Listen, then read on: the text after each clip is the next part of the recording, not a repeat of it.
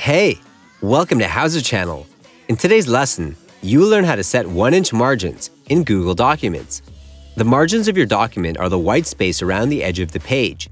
This includes the area at the top of the page, which is also known as the header.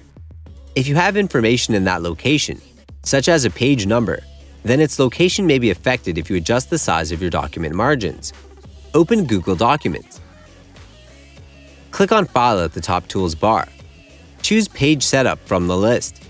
A new window will open. Go to Margins.